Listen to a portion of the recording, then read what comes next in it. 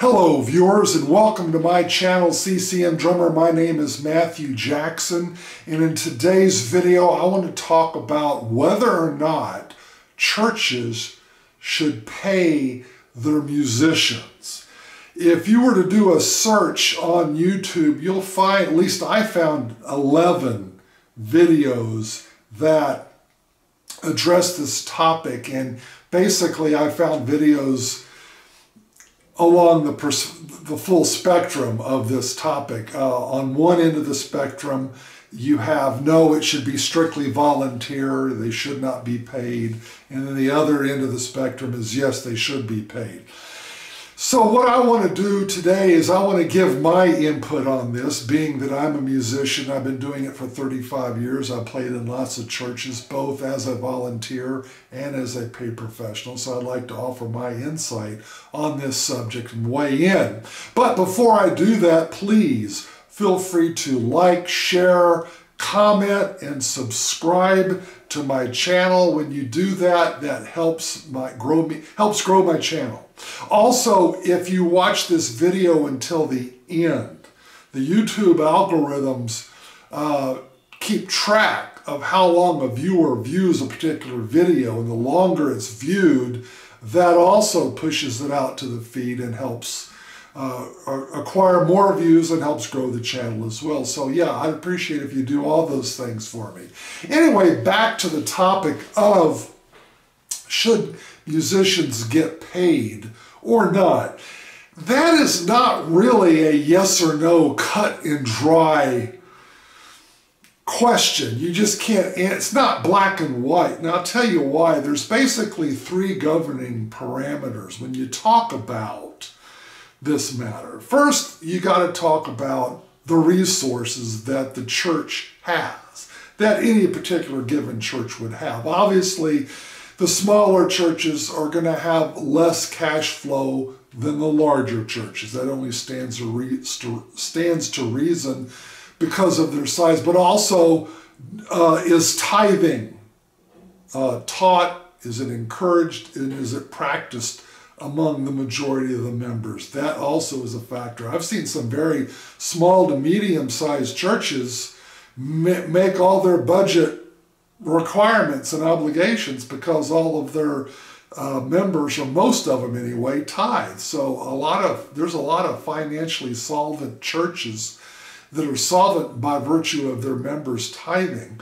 So that so that all factors in. Now the other issue when you talk about uh, paying um, musicians in the churches is the talent pool within the church how big is the talent pool? So let's say you have a church that's, I don't know, let's just throw out a number, 200 people.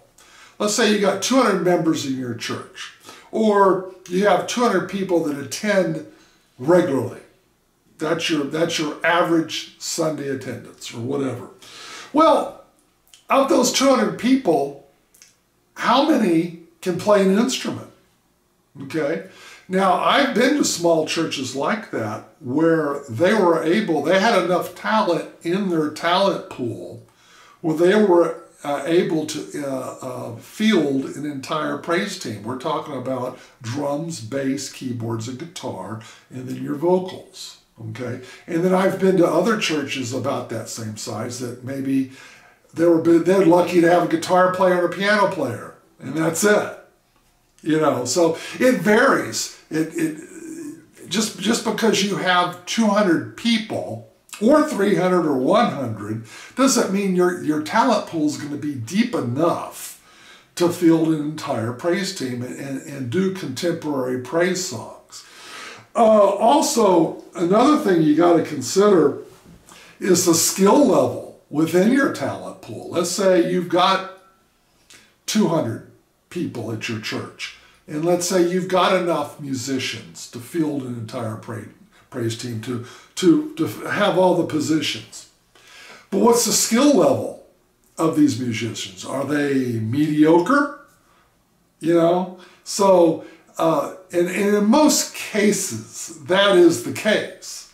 You just have a bunch of mediocre musicians. Now, most pastors that I've talked to understand that in order for their church to grow and to see positive growth, and that's very difficult in this day and age when you have church attendance going down. It's on the decline. And a lot of that had to do with the COVID pandemic when people could attend church on, on the internet, go to virtual church, okay?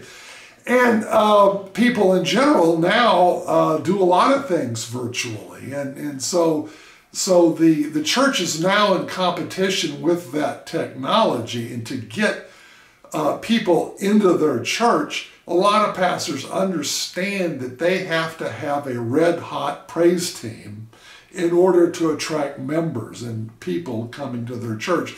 They can't rely on the strength of their, of their ability to deliver messages and good sermons alone.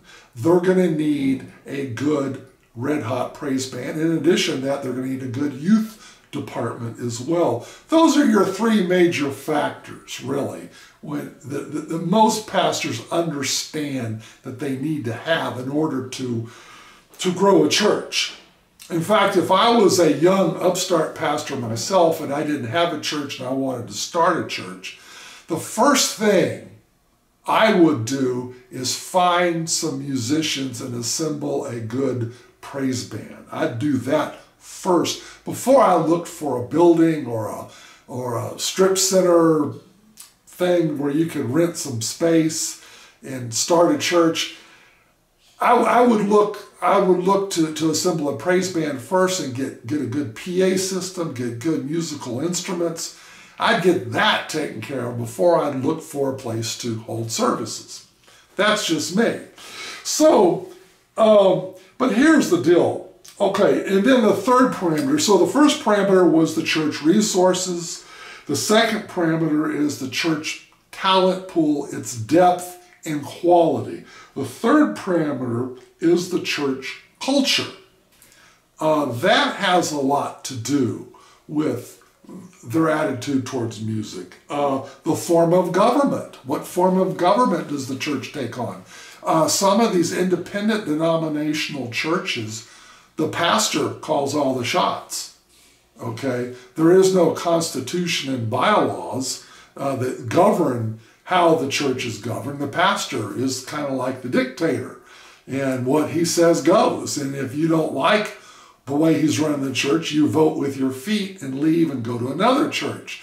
Now, so that has a that's a two-edged sword. On one hand, yeah, the pastor calls all the shots, but let's say if the music team needs a new PA system or a drum set or keyboards, whatever, okay, whatever piece of equipment the music team needs. Well, all the music team has to do is convince the pastor. If the pastor's convinced, he'll go down to the music store with you and write the check and buy whatever it is you need. He doesn't need to put this up for a vote before the congregation. He does not need to go through the uh, praise and worship committee or whatever. Because some churches, uh, when you when you buy a PA system, uh, the, the Constitution and bylaws dictate that the, the congregation um, votes on it, or maybe the board of elders. So all churches uh, have different forms of government, so that has a lot of bearing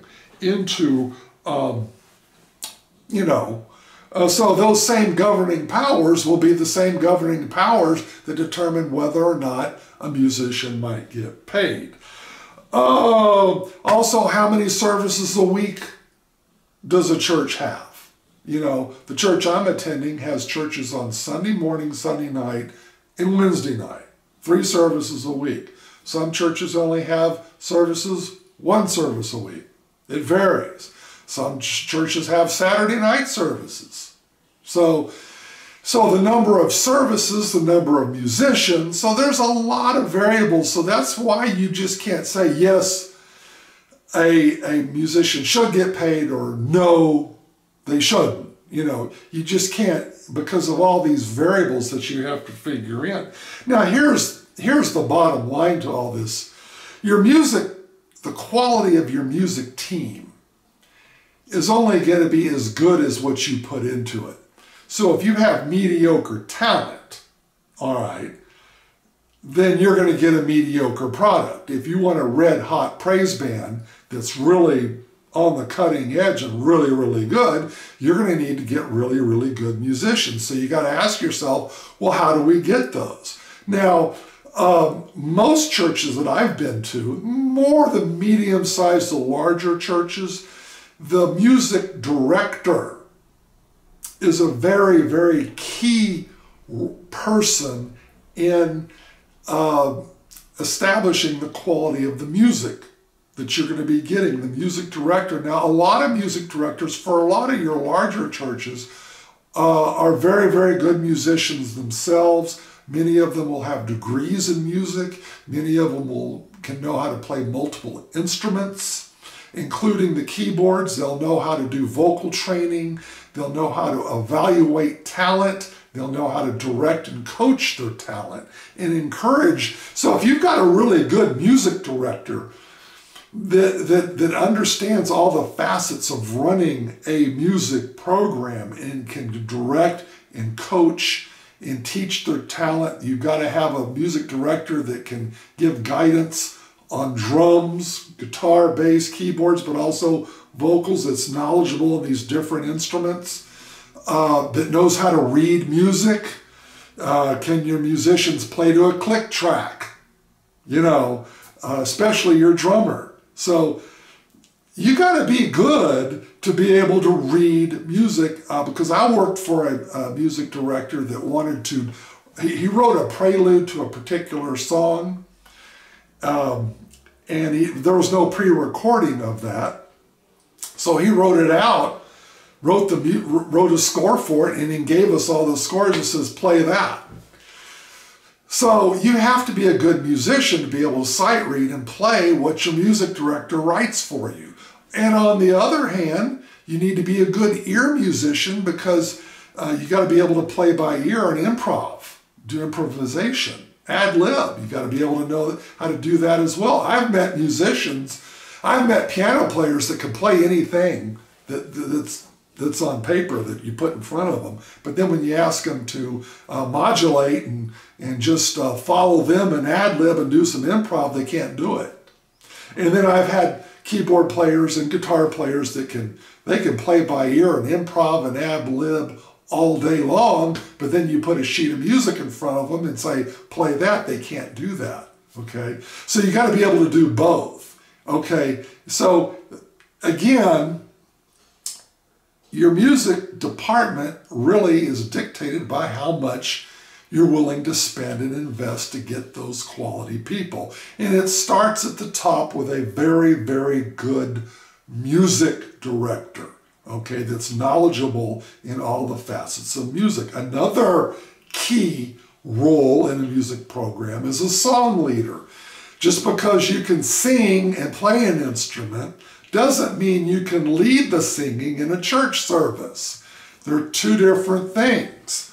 Now, in most cases that I've seen, most of the time your music director is the song leader. They'll be the ones singing and leading the congregation in song, okay? But I've been in churches too where the music director was the rhythm guitar player and he delegated out this, the, the, the uh, song leader part to one of his musicians that was very good at it.